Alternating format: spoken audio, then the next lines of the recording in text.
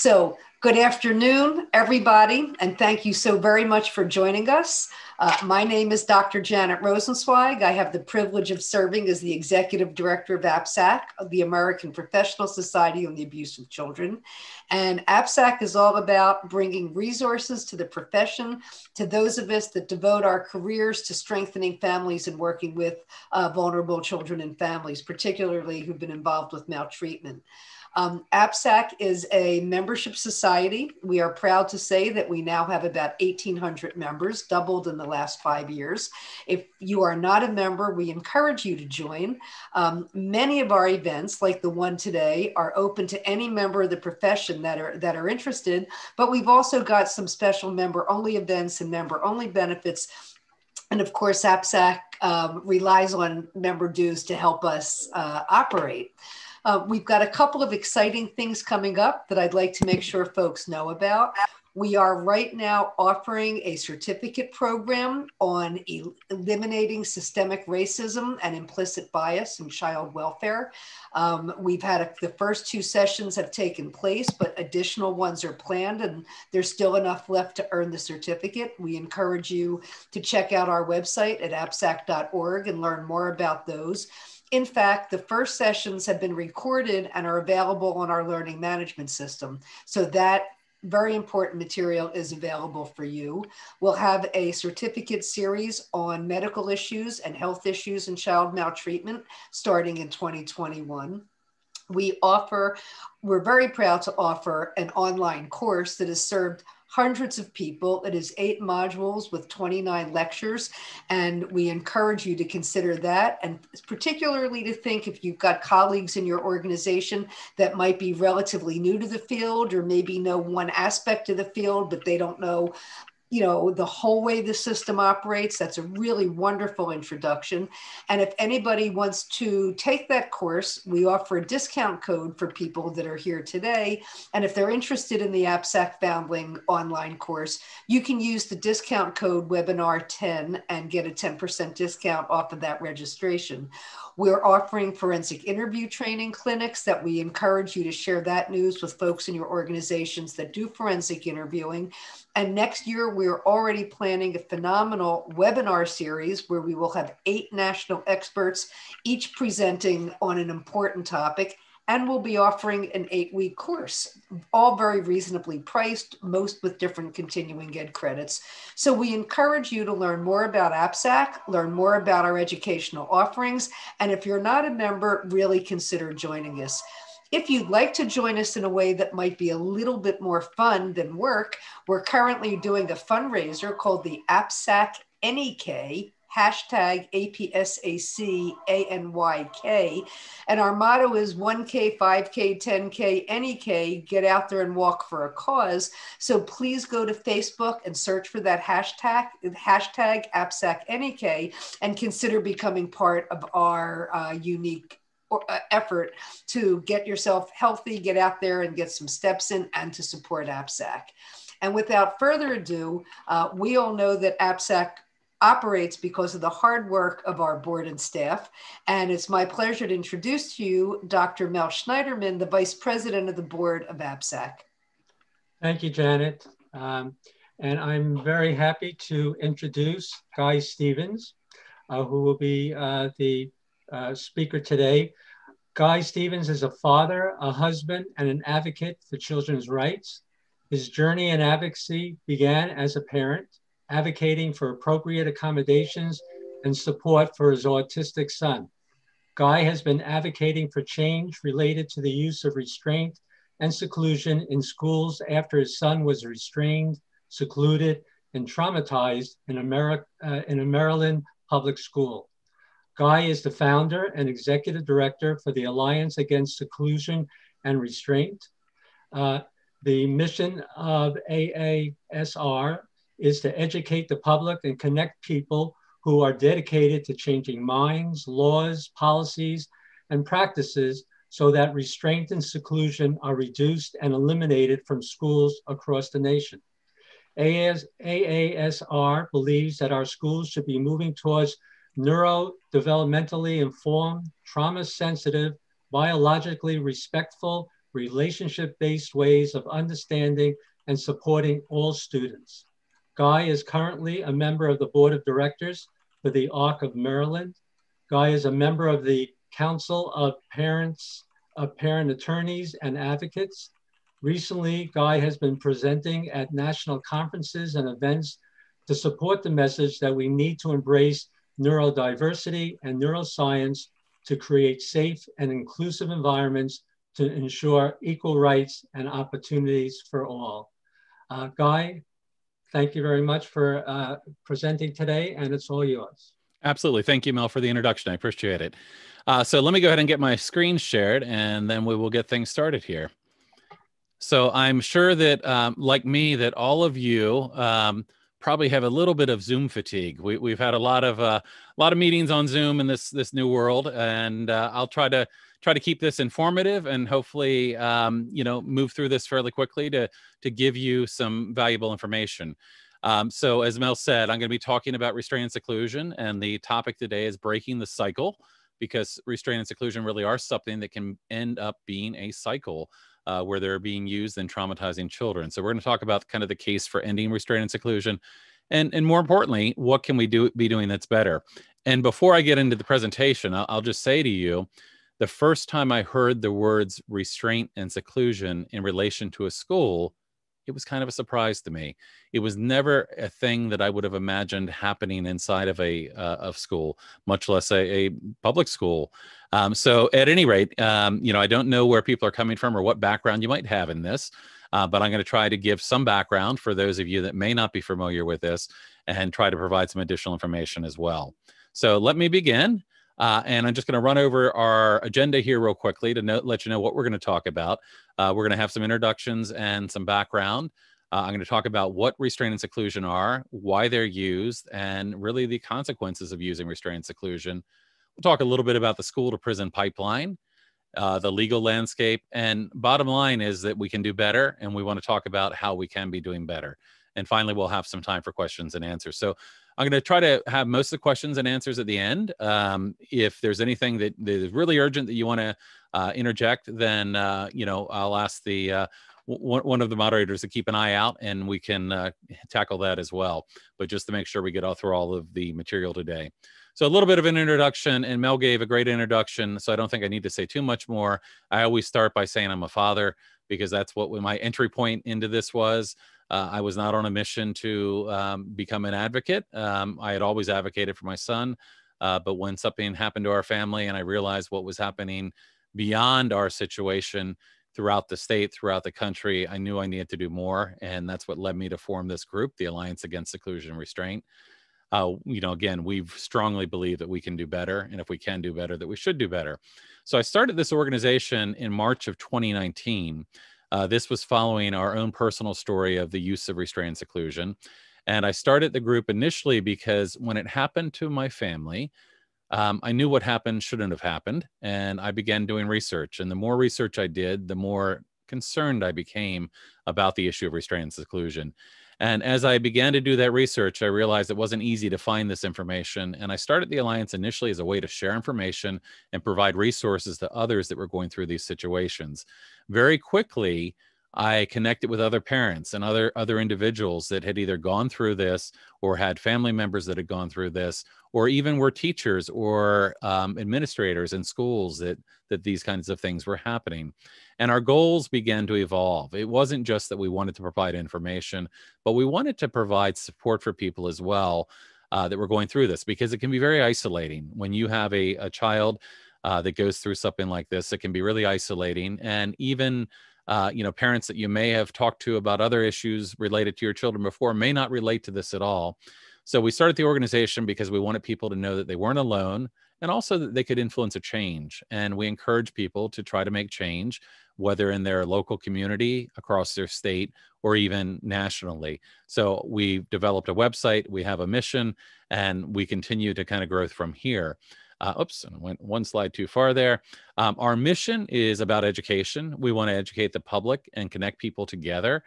that are really dedicated to changing minds, laws, policies, and practices so that restraint and seclusion are reduced and eliminated in schools across the nation and beyond. And I'll tell you, it, it really is beyond. Um, I had a conversation earlier today with a professor in the uh, UK, um, talking to a, a, school administrator this evening from Australia. You know, we see these things happening all across the uh, all across the world. So we want to try to influence positive change related to that. And our, our network, in just a, a little over a year and a half, we've got about 10,000 followers on social media. Uh, mainly parents, uh, advocates, self advocates, attorneys, educators, and others um, we also have a team of seven volunteers. We're a grassroots volunteer organization, and we're again trying to influence a positive change. We've got some exciting work coming up, and I'll just kind of tease this before we get into the, the main part of the presentation. We're working on tools to help people to advocate for change in the form of an advocacy handbook. I'm working with a filmmaker right now in Seattle on a documentary to raise awareness about the use of restraint and seclusion. And we're also supporting legislation. Uh, the Keeping All Students Safe Act was recently reintroduced. We'll talk a little more about that throughout the presentation. So the important thing, why did I why did I start down this road, and why am I oddly uh, in front of you today and, and sharing um, you know some of our story? And and I did this because I have this amazing son named Cooper. He's now 15. Um, he loves science. He loves nature. His latest hobby, he likes to uh, he, he likes to cut wood and split wood and he, he's discovered the art of chainsaw milling and is making his own lumber so he's, a, he's an amazing kid uh, unfortunately he had some unfortunate instances of restraint and seclusion uh, he is autistic and has adhd and as a result needed additional supports throughout school and unfortunately in the fifth grade he suffered his first instances of being restrained and it was a really unfortunate situation he had been working with a particular teacher for about two and a half years um, he had gone from a self contained classroom to being in the general education setting for all but one of his classes by the fifth grade, was doing really well, was on a, a great path. And that teacher got in a car accident. When that happened, uh, he had a lot of difficulty, and we saw behaviors emerge we hadn't seen for four or five years. And he, there were two situations where he eloped. He, he, he left the classroom. He hid in a bathroom, overwhelmed, and ultimately came out of the bathroom only to be physically restrained drugged down a hallway and thrown into an empty room.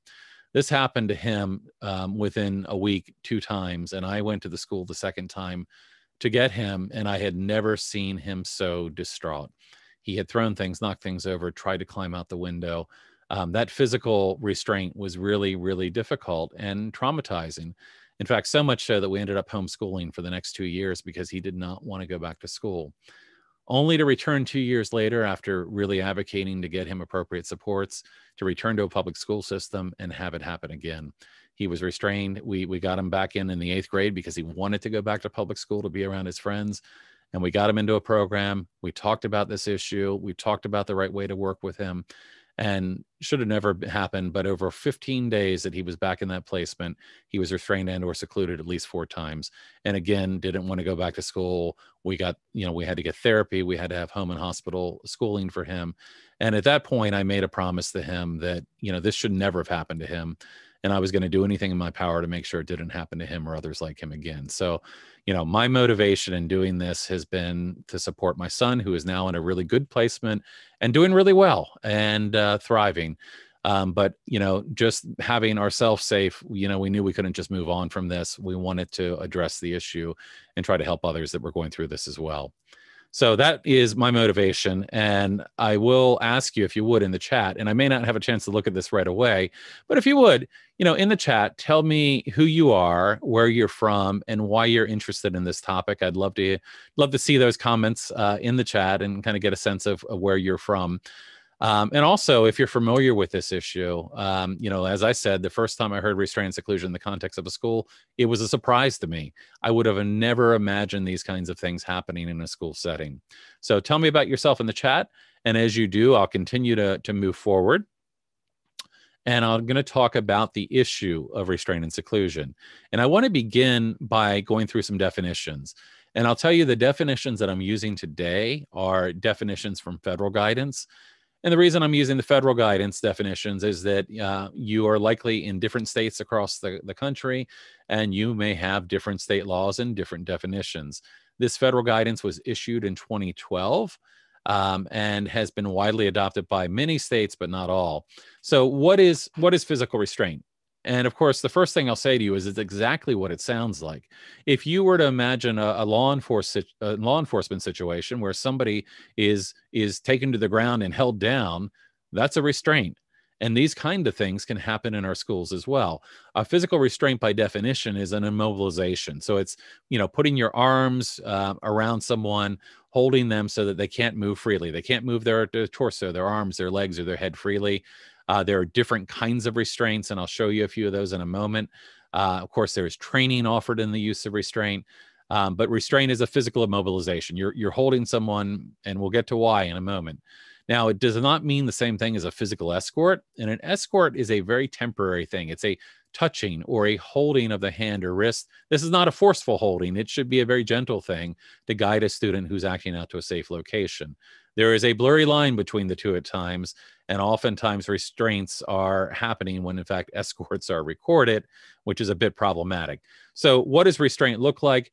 There are standing restraints. In a standing restraint, it could be a single adult or multiple adults behind a child, often taking their arms and you know, kind of in front of their body, crossing their chest, and, and holding them in such a way that they would be deemed not to be dangerous to themselves or others.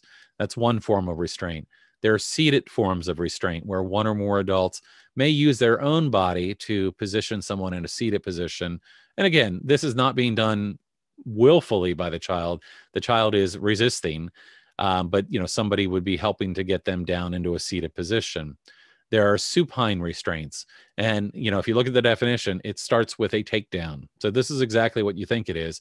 People are taking a you know child down to the ground and securing their arms and legs in a supine position, it's usually going to be in the uh, face up orientation versus a prone restraint, which is a face down. And prone restraints you, you may have heard of before in, in, in this context or others uh, because they have resulted in the death of children and adults. Uh, because they can affect the ability to breathe. So, a prone restraint is a face down restraint that begins again with a takedown. These are illegal in some states, not all states. So that's restraint, and we're going to talk about why it's used in a moment. But let me move on to again give some definitions here.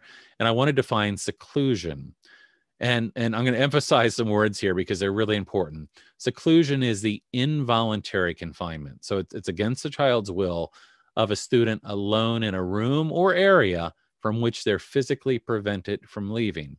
So again, it is involuntary. More often than not, in a seclusion, a child is being put in that area against their will. It is involuntary, and they are alone and they cannot leave. Now, seclusion, there's a, a host of reasons it's used. It's often used because a child is deemed to be dangerous. And the idea is that we will put them in a room by themselves and they will magically calm down.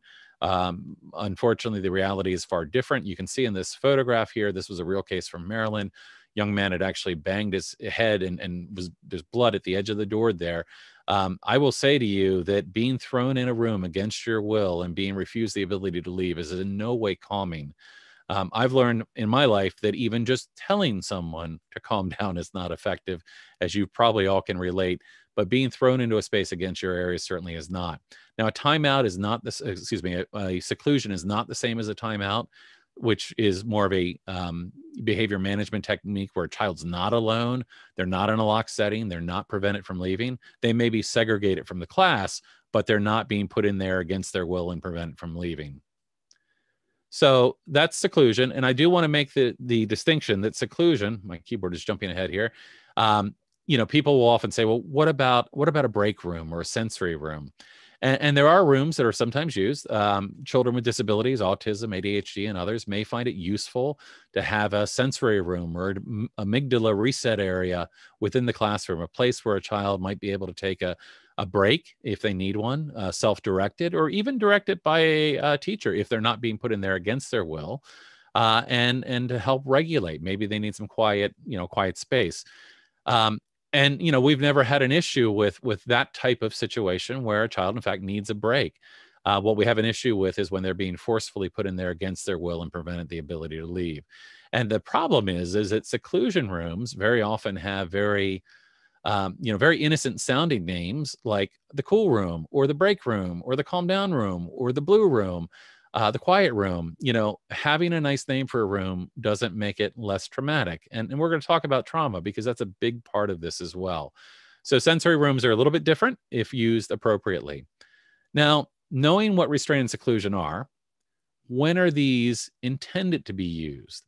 And if you look at the federal guidance again, the federal guidance says, you know, you shouldn't be using these things unless there's a situation that is a crisis and the child's behavior is so escalated that it poses an imminent danger of serious physical harm to either themselves or somebody else. And you want to avoid this to the greatest extent possible. So the language here is really important. And, and of course, I have this in red imminent danger of serious physical harm because that means something. Now, in my own in, in my own experience, uh, I actually worked through helping to change a policy in our local school system, and and people told me at first that they didn't know what serious physical harm meant. Now, of course, I pointed them to definitions, um, but you know, people were often of the mind that, well, gee, you know what what serious physical harm means to you and me might be different. And I would say no. Imminent serious physical harm has a definition, and it actually means the same thing as serious bodily injury, which is actually defined in the Individual with Disabilities Education Act and other other legal precedences. And imminent serious physical harm means there is a substantial risk of death. This is a life or death injury. This is not something more minor. It's a life or death injury that could cause extreme physical pain, protracted and obvious disfigurement, or a protracted loss or impairment of a function or bodily organ or mental faculty. This is serious. You should not be using these things unless it meets this criteria. Unfortunately, that's not what happens in practice. Um, although it's very clear that imminent serious physical harm is a life or death situation, what I find more often than not are these things are used in situations that don't involve a life or death uh, situation, but rather maybe it's a minor injury, a kick, a bite, a bruise, or a scratch. Maybe it's as punishment, which the guidance is very clear. These things should not be used as punishment.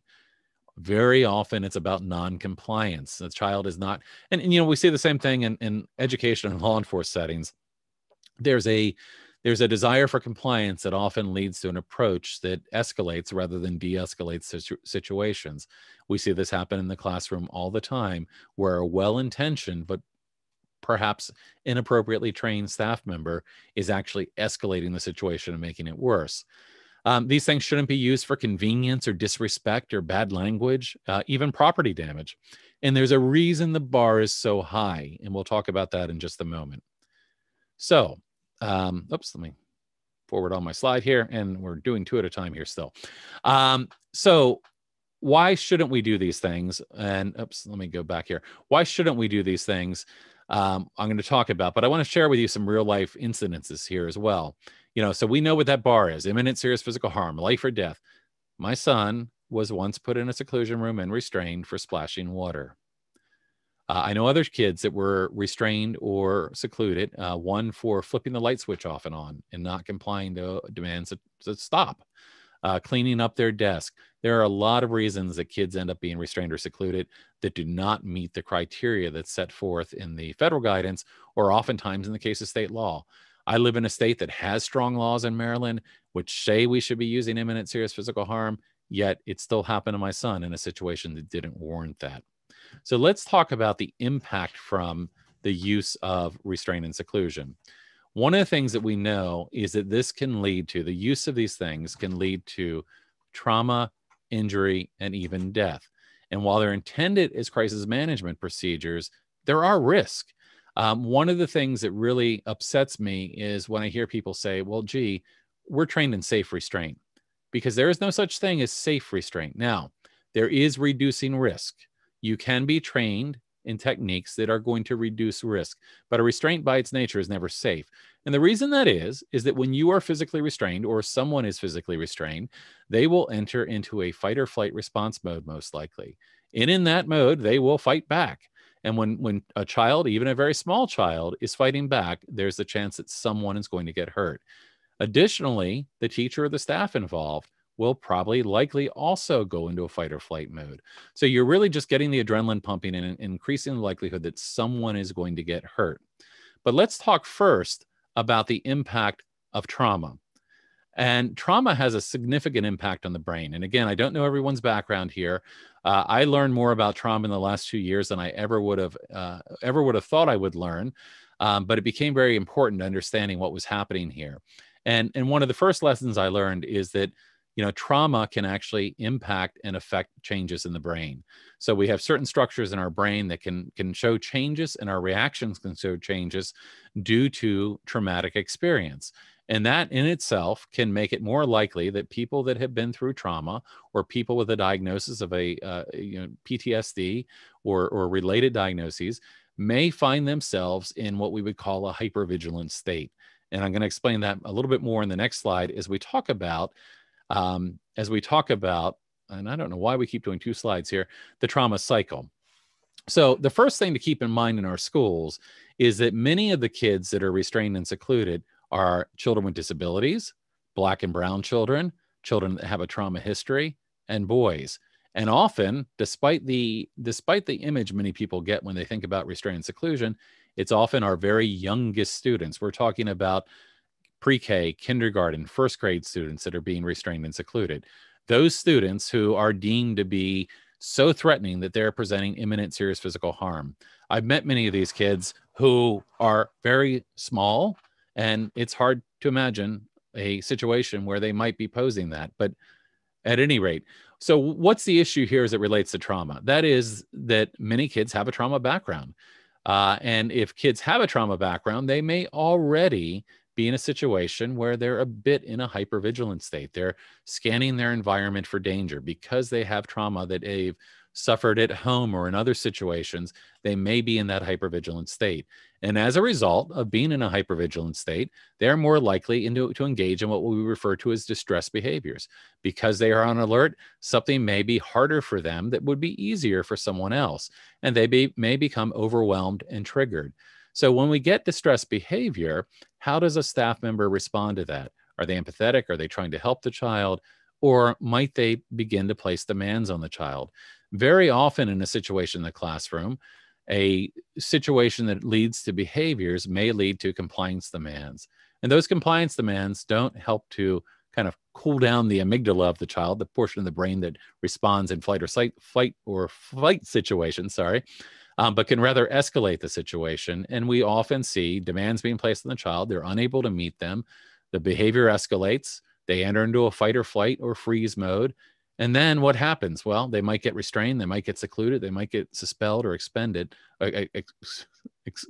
sorry, my, my, my words are not coming out as always intended, expelled or suspended.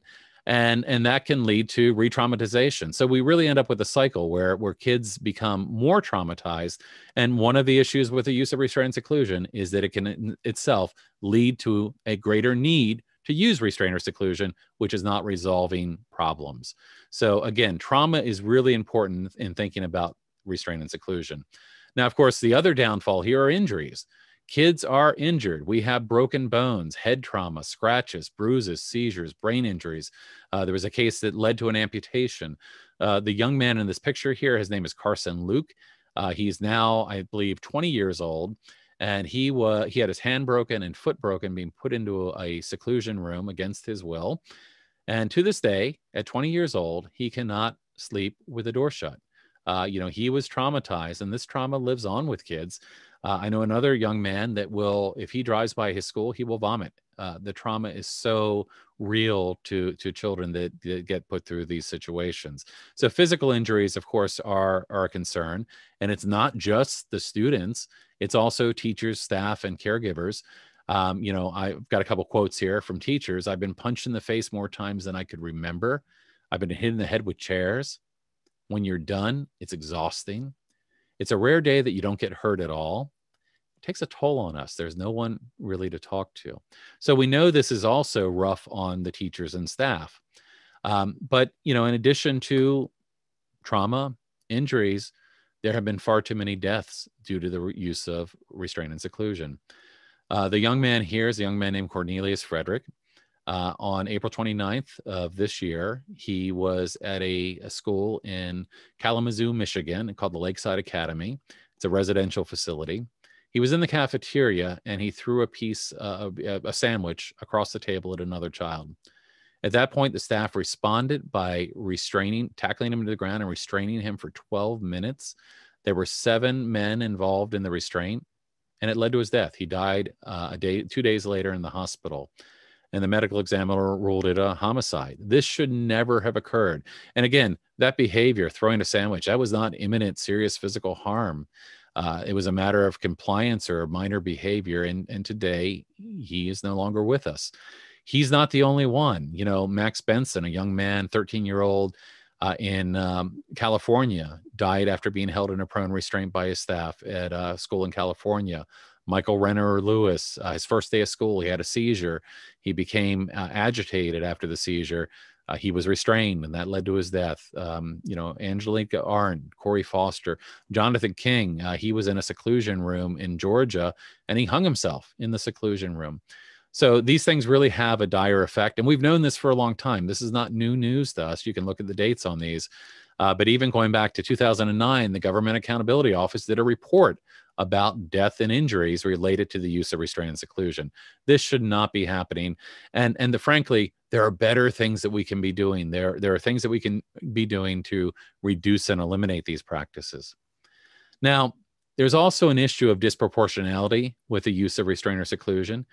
If you have a disability or black or brown, you're more likely to be restrained or secluded. Uh, if you are an elementary school student, you are more likely to be restrained or secluded. You know, some stats here students with disabilities, 200 times more likely to be restrained and secluded. Uh, black students, 200 times more likely than their uh, white counterparts. Hispanic students, 45% more likely than their white counterparts. Uh, and, you know, what we find is that this is data from the most recent um, report from the Office of Civil Rights, the Department of Education Office of Civil Rights. They released the report uh, about two months ago.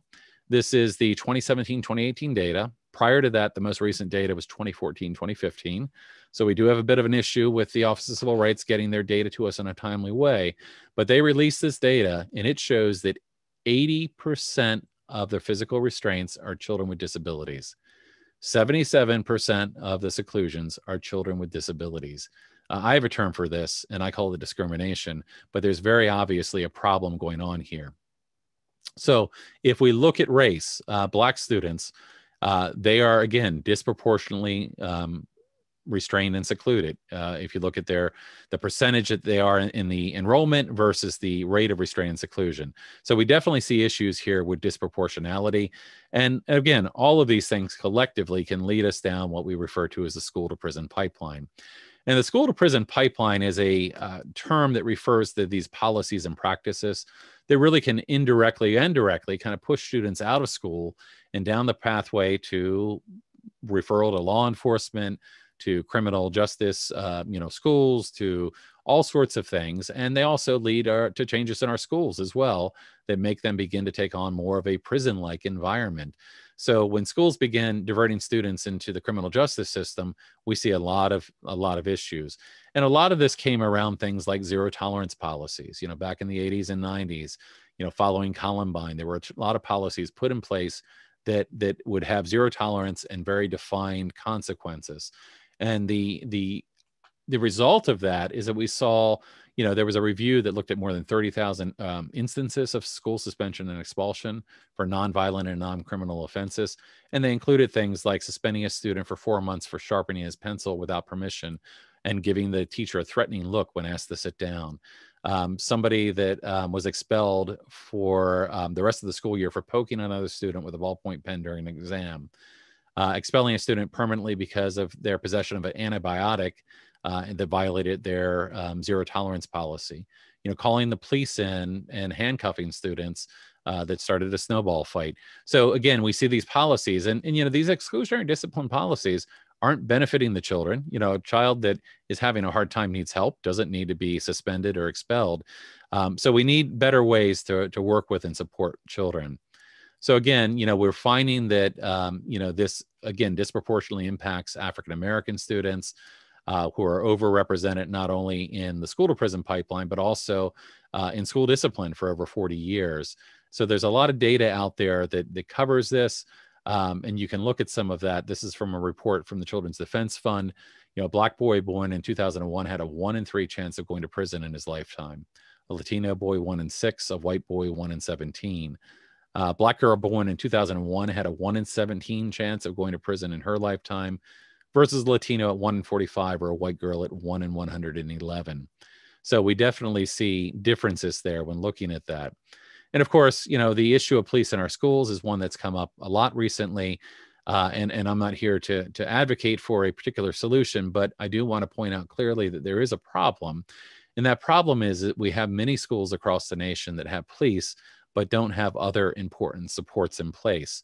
You know, for instance, uh, you know, we find that many schools across the nation have police, but don't have counselors. In fact, 1.7 million students are in schools with police, but no counselors. 3 million students are in schools with police, but no nurses. 6 million students are in schools with police, but and no psychologists. 10 million in schools with police, but no social workers and it goes on. So there are certainly issues with providing appropriate supports for students, which then lead to interventions from law enforcement. And we ultimately end up with what we refer to as the school to prison pipeline when law enforcement gets involved in what would have been previously behavior that would have been managed by the school staff.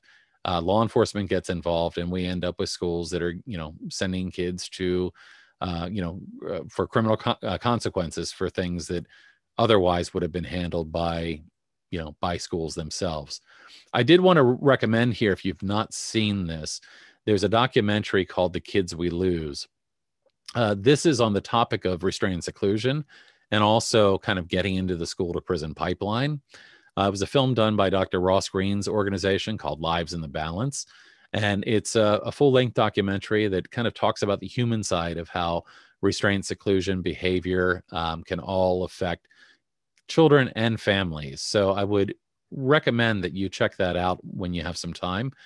And uh, let's talk now about the legal landscape. So there are currently no federal laws in place related to the use of restraint and seclusion in schools. We do have federal guidance, but we do not have federal law.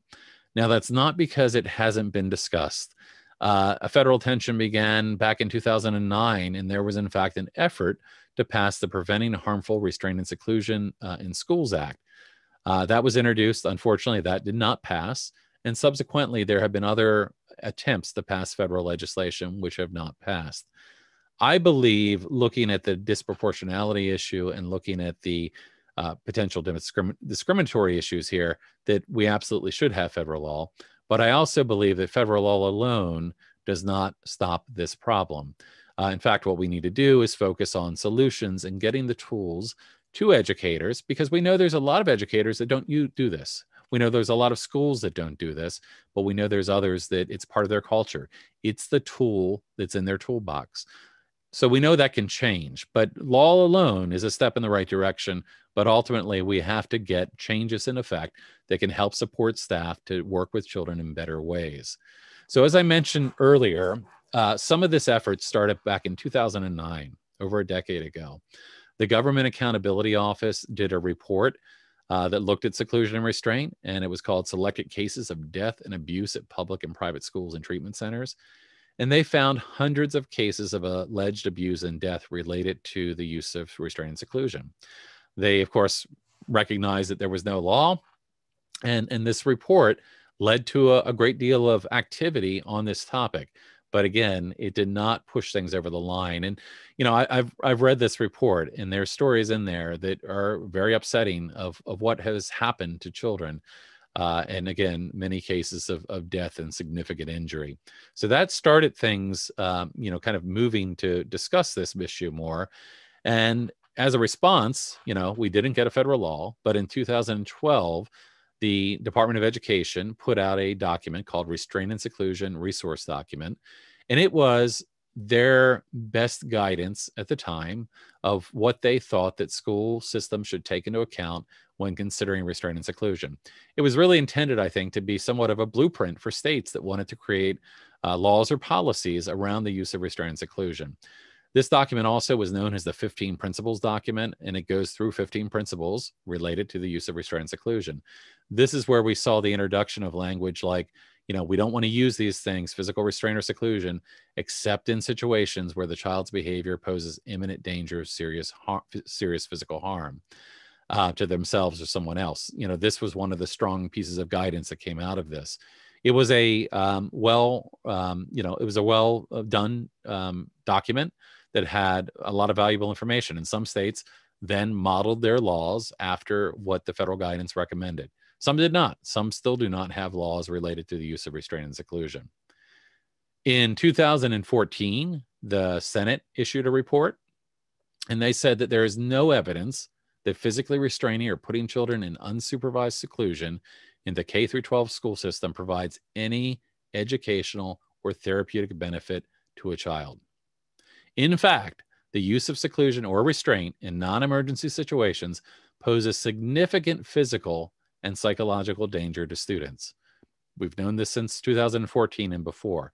And in fact, the 90s were the decade of the brain. You know, we learned more in the 90s about the brain and about trauma than the the the, the decades leading up till then. And you know, we know more now, and we should know more and do better. But a lot of our um, a lot of our schools, oftentimes the knowledge doesn't move quickly. You know, we're still doing things we did 25 years ago, um, when in fact we know better practices exist out there. Moving on in 2016 the US Department of Education again offered guidance, this time in the form of a Dear Colleague letter from the Office of Civil Rights. So, very obviously, the Department of Education was concerned about this. And in their guidance, they talked about the fact that the use of restraint and seclusion could have such a traumatic impact on a student that even if it only happened once, even if they were only restrained or secluded once, it could lead to new academic and behavioral difficulties that, if not addressed promptly, could result in a denial of a free and appropriate public education. So, this is the Department of Education saying, we realize there are implications here under IDEA or under the Individuals with Disability Education Act. This is serious guidance. And it goes on to provide guidance to help school districts navigate and make sure that they're not violating, violating civil rights. So, moving forward, I mentioned the Office of Civil Rights collects data. Since 2009, they've collected data on the use of restraint and seclusion. Every two years, they collect the data and they put it out on their website and in a report. Now, I will be somewhat critical of the Department of um, Education's Office of Civil Rights in that one, they don't get the data processed very quickly. Uh, as I mentioned, we now have the 2017 2018 data that we got about a month and a half ago. Prior to that, here we were in 2020, and our latest data was 2014, 2015. They don't seem to respond proactively to the data. They respond to complaints that are filed. And we have the technology now that we should be analyzing data and responding where we see trends and issues. They are not doing that. I'm also critical, uh, I mean, of a very simple thing. Looking at the report here, here we have a, this is the cover of their report with a diverse group of smiling children on a report about restraint and seclusion, a practice that kills and traumatizes kids. Uh, you know, I think we need to be doing better at the Office of Civil Rights, and we've been in contact with folks to invest, you know, to encourage a GAO uh, investigation to, to do better. We need timely, relevant data to be able to make decisions. So this report tells us that over 101,000 kids were restrained and secluded in, in public schools in the nation. And while we know that 16% of all students are students with disabilities, as I mentioned previously, 80% of the physical restraints and 77% of the seclusions were children with disabilities. That's astronomical. And of course, Black and Brown children are also disproportionately impacted by restraint and seclusion. So we need to do better. And that's not just my opinion. In fact, uh, there was a report from the Government Accountability Office earlier this year criticizing the data that we were getting from the Office of Civil Rights. Uh, there was an instance where it was determined that we had a lot of school districts reporting zero incidences of restraint and seclusion, when in fact it wasn't true. Uh, Fairfax County, Virginia, was one that was reporting zero instances, and in fact, they are they are uh, part of a lawsuit now that's been filed against them and they later came out and said oh gee uh, it was a mistake. We, we didn't report the data appropriately. But there's no there's been no um, consequence to that in terms of uh, filing data that was incorrect. So the gao has asked for the department of education to put priority to that issue of data. So some good news here. As i alluded to earlier the keeping all students safe act has been reintroduced. Uh, now this is not the first time that it's been introduced uh, we are supporting the Keeping All Students Safe Act and trying to work with uh, lawmakers to see that it gets passed.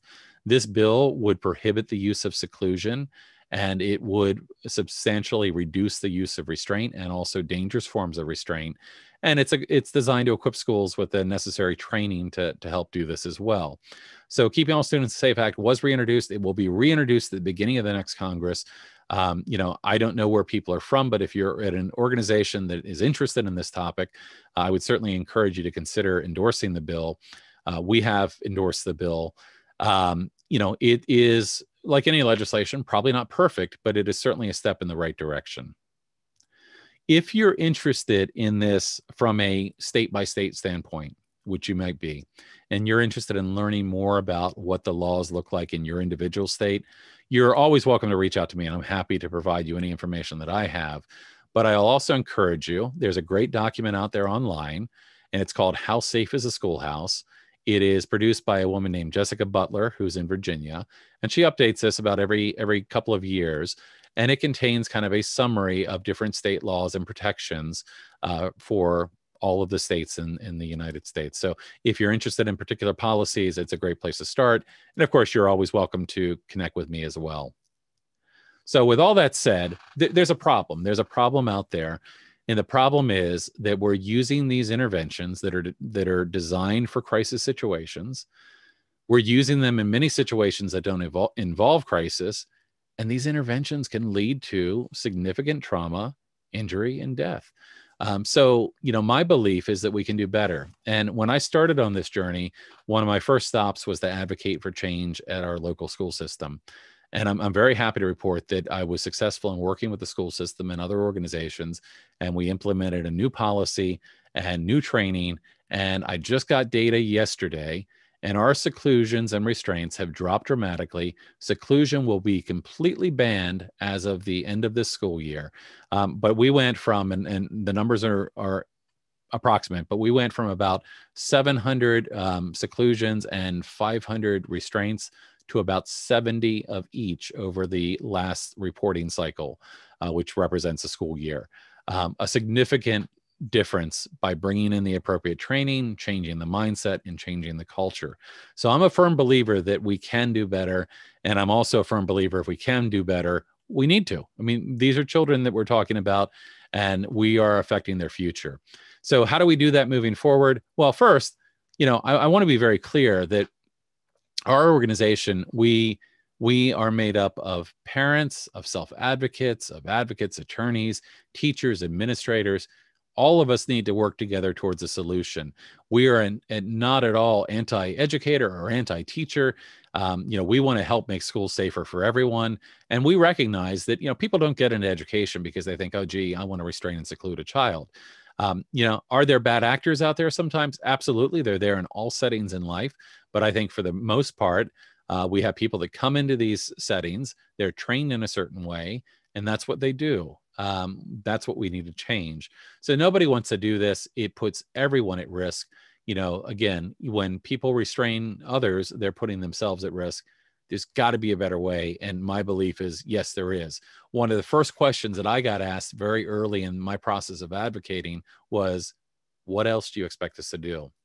And at this point i have a lot of good answers for that. When i was first asked that question i didn't have the answer to that frankly um, I knew what you, they were doing was wrong, but I didn't know what the right things to do were. And I began doing a lot of research on that and connecting with a lot of amazing individuals. And through that process, have learned some of the things that we are recommending that people do. Oops. So what are what are those things that we can do? One, we can practice. Um, you know, we can practice things like universal design for learning. You know, we should be looking to accommodate all people in our society, regardless of differences, whether they be neurodiversity or whatever differences that we have.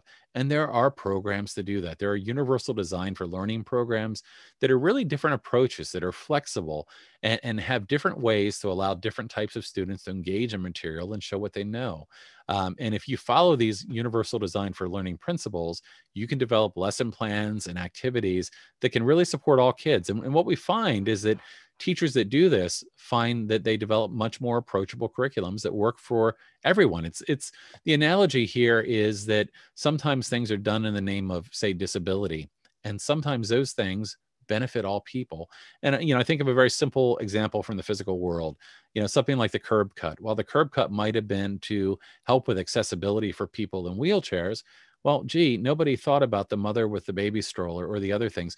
We we can design things in such a way that they're universally uh, supportive of people. So universal design for learning is one.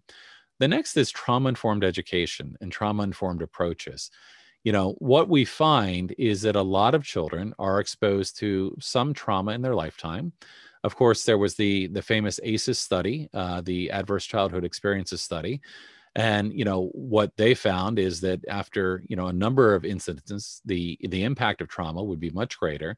But we have a lot of children coming to our schools each day that have a trauma history and if you understand the influence that trauma has on the brain, you then can determine how do you appropriately support people. And a lot of the trauma sensitive approaches are based on relationships and understanding of trauma, the way it impacts the children and their families. Um, so there's a lot you can do with a, an approach that you you take into account trauma and you build your program around that. The gentleman in the top right corner there with the young man, his name is Matthew Portell. Matthew is a principal at a school in Nashville called Fall uh, Fall Hamilton Elementary. He became the principal in 2015. He came into that school with this idea of becoming a trauma informed school trauma informed has become a buzzword, but for Matthew, it was a mission. And he came into that school trying to figure out how he could do things like eliminating suspensions and expulsions, reducing restraint and seclusion. And he developed a trauma informed program that now has enabled them to do just that to eliminate suspension and expulsion, to reduce restraint and seclusion, to help better support teachers because a trauma informed environment is not just about the kids it's about the staff as well. So as an example you know if a teacher is becoming overwhelmed or has, has been having a difficult time or a hard time she can actually use an app on her phone to tap out and have another teacher come re- replace her for that time. There are a lot of things that he's done to try to make the whole uh, system more trauma informed and i'd welcome you to look up on youtube matthew portell and trauma informed there's a great piece that was done on edutopia and Edutopia did a, about a nine minute um, video talking about the things they had done at Fall Hamilton. Really, really impressive. So, at any rate, you know, being sensitive to trauma, knowing that kids need to feel, you know, seen, safe, soothed, and secured, knowing that relationships are critical for helping children. And on a side note, what does restraint and seclusion do to a relationship? It ruins it.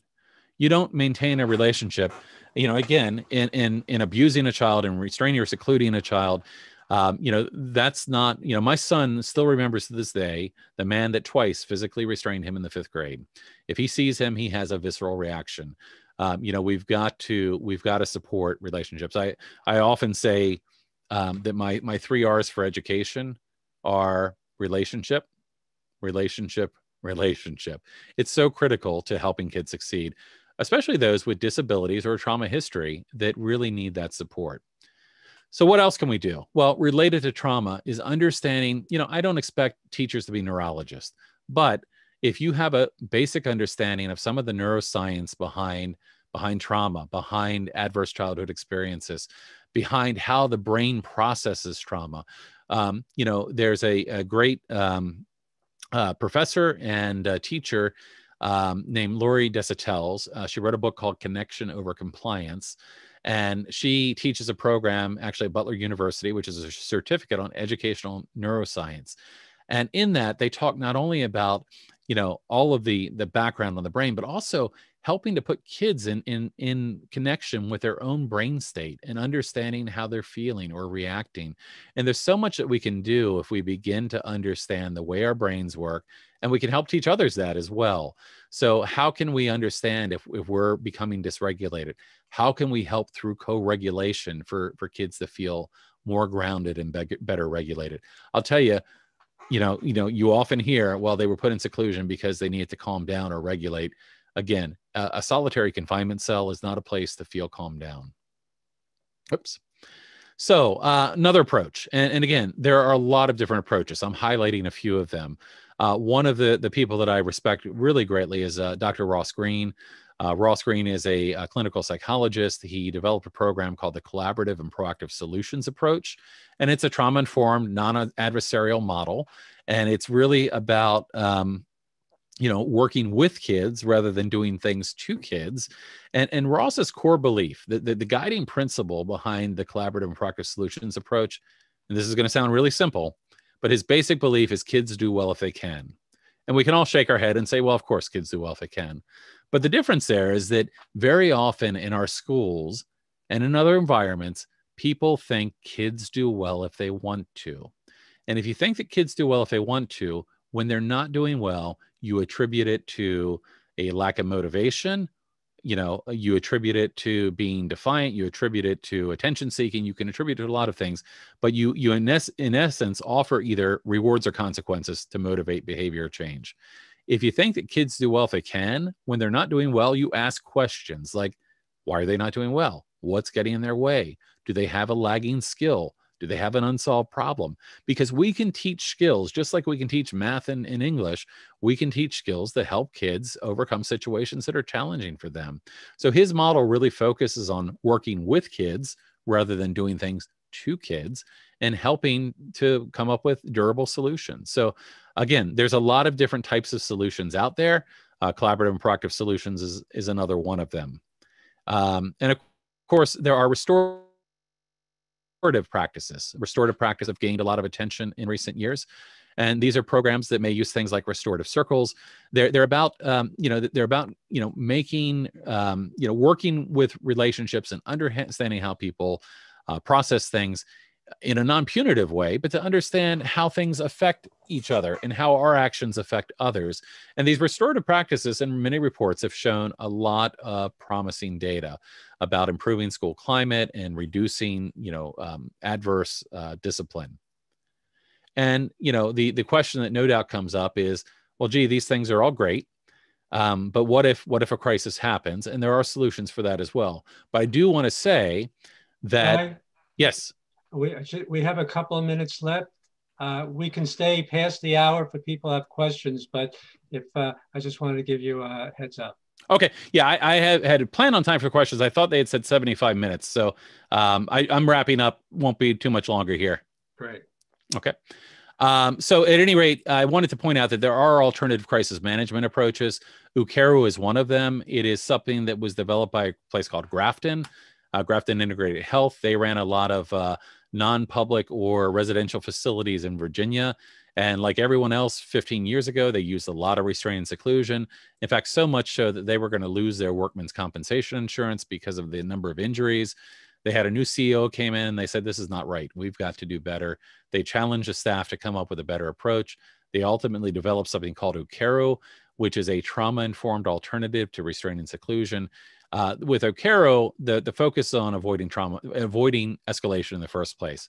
But if you cannot, they use a series of pads in their training, not in a way that would be offensive. So if a child becomes, you know, um, escalated, the pads are used to protect the staff while at the same time trying to de-escalate the child. So with the Ukeru method, rather than you know defensively tackling the child to the ground, you would use the pad to protect yourself while simultaneously trying to help them to regulate. Because the moment you put arms around a child, you're escalating the situation. Anyway, um, it's an option out there, and there's a lot of other things we can do. I want to point out the safety myth, though. People often think in schools that they need these interventions to keep themselves safe. And what, in fact, we find is the data shows the opposite. Whenever you put hands on a child, whenever you restrain or seclude, you are increasing the likelihood of injury, uh, you're increasing the likelihood of even death. Grafton's long term data showed that. In fact, they showed not only when they reduced and eliminated, they eliminate seclusion completely, reduce restraint to almost non-existent numbers, and they found that uh, they not only um, did that, but they saved money, they increased staff satisfaction, decreased staff turnover, and staff injuries. So safety, um, the safety myth is sometimes used, but it's a non non issue here. And I do want to point out just real quickly as we wrap up that you know the the thing that we often hear is well gee you know we, we don't have money we don't have time we don't have resources we can't do new training. And i'll tell you from my experience even one teacher can make a difference for a classroom. You know when you begin to focus on on relationships and and models that support kids there's a lot you can do and there's a lot of resources out there. I met a teacher named karen blatcher who she had a story in good morning america about her approach to teaching her classroom. All of her students were neurotypical but she taught the classroom as if they were um, autistic. And she used a lot of the same things, like she had mindfulness and emotional literacy and fidgets. And, and what she found is all her students thrived. And, and what she said was that, you know, that when you treat um, when you treat anybody, and this gets back to the universal design, like you should treat somebody that has autism, everybody can thrive and prosper. So there are things that we can do that benefit everyone. A couple quick book recommendations, and then we'll wrap up. If you're interested in learning more about the things we can do or the why behind this, uh, Dr. Ross Greene's Lost at School is an excellent resource. I also highly recommend Mona Delahooke's Beyond Behaviors. Uh, gets into understanding that not all behavior is volitional, that there's behavior that happens. Uh, because it goes into what's called the polyvagal theory, but it has to do with, you know, when you don't feel safe, your threat detection system goes on high and your behaviors are driven by your amygdala where it's fight, flight, or survive. Uh, there's another great one I mentioned earlier, Dr. Lori Desautels' Connection Over Compliance, uh, which is a great look at how important relationships are and understanding the brain. So with that, there's a lot of other great resources, some of which I'm sure you're familiar with. You know, the body keeps the score, the boy who was raised as a dog, you know, things that go into trauma. Uh, Punished by Rewards is another great one from uh, Alfie Kohn So a lot of great resources out there. I just want to say that that I really believe that we can do better, and if we can do better, that we must do better. And I will say that you know, at its at its best, restraint and seclusion are tools that are well intentioned but misguided and do a lot of harm. At their worst, they're abuse. So we can do better, and I, and I really believe that we need to do better. So with that, I will open it up to any questions that we might have, and I appreciate uh, everyone that's been on the the line here. And if you've got to get off now that we're at the hour mark, I understand, uh, but I welcome any questions or comments. And I'm going to go ahead and stop sharing my screen here so I can see everyone. And uh, thank you.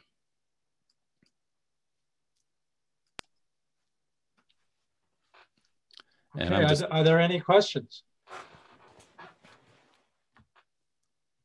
No question, just a comment. I think that uh, this is something that APSAC should be looking into very seriously. I've set a, a little note there in uh, chat. Dave Corwin and I talked about this uh, at uh, the uh, Utah conference, along with, uh, I think it um, was Susan from um, California's CAPSAC. We really do need to take a position. This is child abuse. There's no question about mm-hmm. it. As many of you know, I represent the family of Max Benson and the other six no. kids uh, who've been restrained there. And frankly, uh, I have to tell you that when I was a police officer learning about what they used to do with kids in the 1800s, uh, when I first heard about this case, I said, "Where are we? Mm. You know, hmm. this we're going backwards, not not forwards." Well, APSAC will be voting to sign on to the federal legislation, and hopefully we will be doing that in the January board meeting.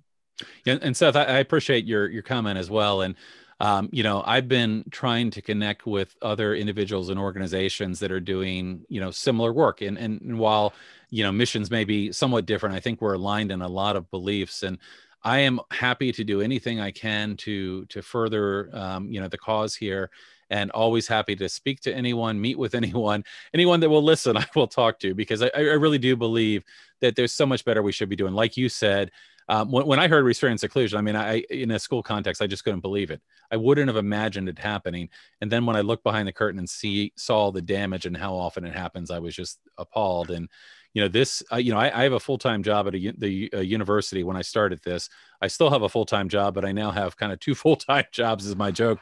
Uh, you know, I had a great conversation with Mel about that and all, all the priorities that that we all have. But this is really, really important to me. And if there's anything I can do to help in anyone's work here, I would encourage you. I'm happy to speak to any other group or any other individuals. Well, that, I think the further thing that APSAC needs to look at is the fact that when professionals respond to these, including the officers who repeatedly went to the school involved in my case, they wrote it off as it was discipline and right. it was justified. They didn't investigate any farther. Uh, the Department of Education in California didn't investigate until Max died. Mm-hmm. And um, I mean, there was a, com- a, complaint that was made that required uh, an immediate response, eight, uh, 10 days uh, immediately prior to uh, his being killed. So um, this again, I think is uh, it, it's not just a matter of signing on to legislation. I think uh, we, as a multidisciplinary organization, remembering that that's what we do, is we take uh, things across all disciplines. We need to train those people who are involved in this to take it beyond simply the educational aid that it is uh, labeled as uh, when these things happen to find out whether or not uh, the kids are, well, let me say not whether or not, that, that it's clear that what they're doing is abusive. Mm-hmm, mm-hmm, mm-hmm. Yeah, yeah, and of course the, the, the federal guidance has always been clear that these things should never be used for discipline. Like, but like you said, you know, the, the police would come. Well, it was discipline, so you know, you you can't have it both ways there. I mean, these were really intended to be crisis interventions, but they're there are so much better things we can be doing that that shouldn't. I mean, what happened to Max? What happened to Cornelius? These things should never have happened. Um, so any anything I can do to support the work at, at APSAC or anywhere else please, I, am happy to. And, and I can be reached, uh, my email can be distributed to the group as well.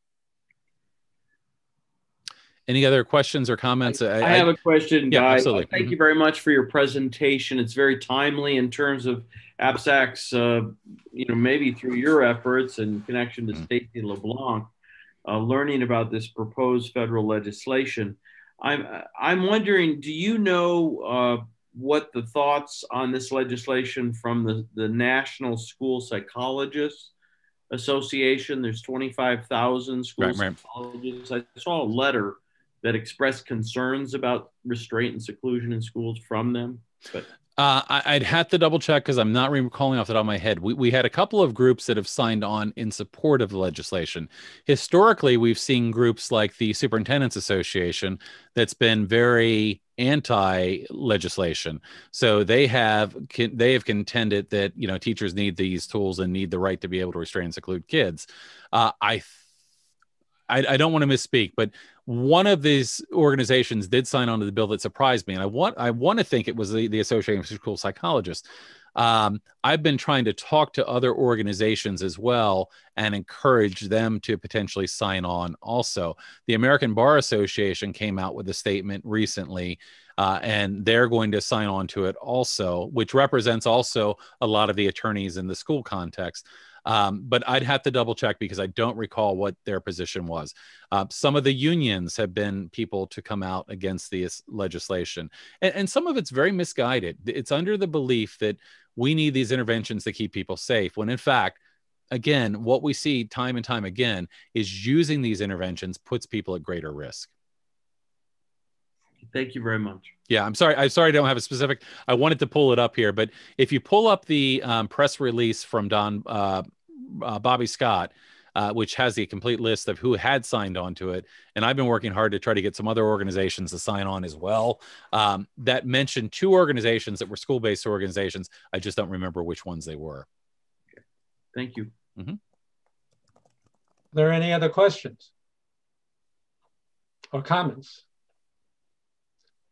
If not, uh, Guy, let me thank you so much for an excellent presentation and for educating APSAC uh, and professionals across the country.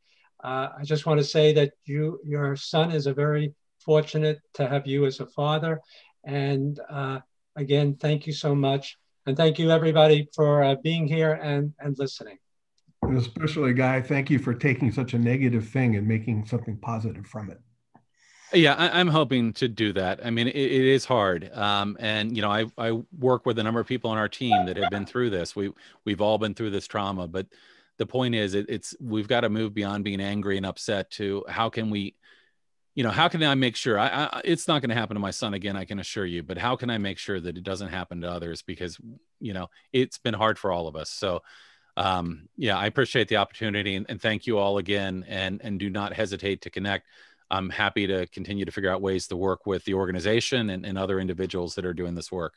And don't worry, Seth, we're going to be working with Guy in the future. Very good. Thanks, Mel. Okay. okay. Thanks, everybody. Thank you so much. Bye bye. Bye bye. Bye bye.